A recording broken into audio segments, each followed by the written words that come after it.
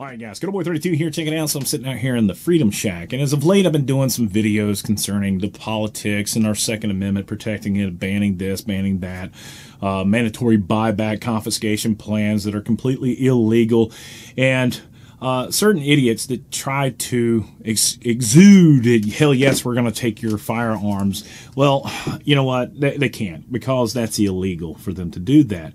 And in the event, that would start a tremendous uh, uprising in this country, whether they like it or not. It would definitely create a storm of monumental uh, proportions. Well, anyway, um, I was struck by listening to the debate the other night. I was on my way home.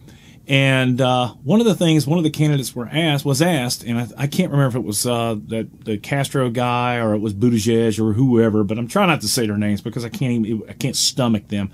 Because I, I feel like that if this is the best that the Democrats have to offer moving forward, it's just really sad because they can't think of anything other than uh, these major corporations are getting away with murder or they need to pay their fair share and they're so evil or they're the reasons why you you're getting paid minimum wage and it's always somebody else's fault. But we're going to solve that whole problem because we're going to tax these people. We're going to take this away from these folks over here. You're going to get free stuff over here. It, it's, it's just, it's laughable. And while I understand that there are people out there who do need help, it's voluntary amongst us who are doing well in order to reach out and help those individuals. And that's my point. But one of the things that I was really just blown away with was one of the moderators asked a candidate, do you believe that uh, Trump, our president, Trump, is a racist? And he said, absolutely yes. And, and then he asked, do you believe that the people who voted for Trump are racist? And he backed that up with a yes. So it's really, it, it really disheartens the heart right now to understand that these people will go so far as to call, I don't know, half the country a bunch of racists. So what they're doing is they are really, really doing a divide system with us. And if that's the position that they want to take and if that's the direction that they want to go forward with, it's going to be bad. And, and where I believe that we should be trying to com- bring everybody together, find a common ground, quit with the BS. You're not doing the country any good as long as you continue to divide. Our country will suffer.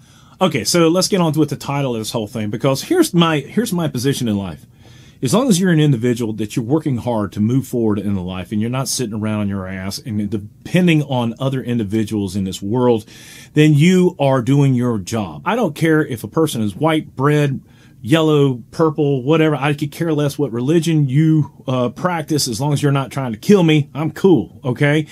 The, the, the title of this video is NAAGA. And, and basically what that stands for is the National African American Gun Association.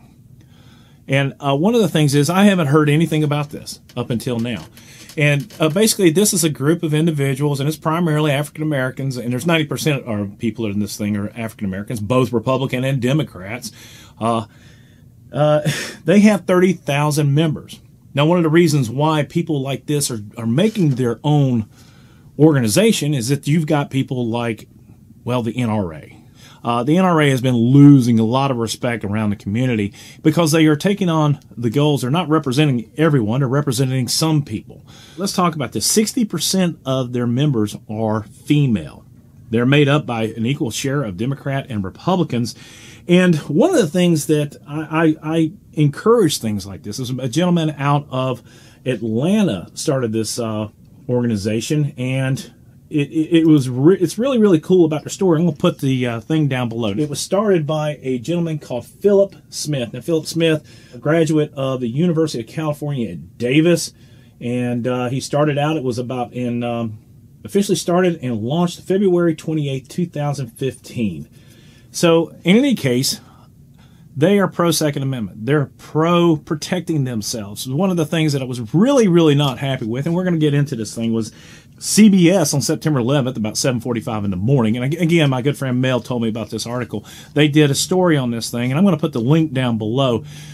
But it was interesting because the way that CBS steered the story, it was to highlight the fact that these people want to protect themselves against white nationalists or they steered it to the part where the founder was really upset about the gentleman who was killed by that cop up there in Minnesota, but NRA didn't say anything about it, and it, that that he what they gave the indication is that that was their standpoint. I want you to watch the video because what they did was they tried to turn this organization, okay, who are primarily minorities, okay, African Americans. They are pro Second Amendment. They are pro protecting themselves, just like you and I are, but they turn it into all of a sudden we want to protect ourselves against white nationalists.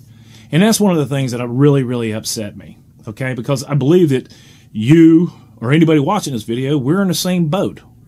No matter what color our skin is, we want to protect our homes and our families.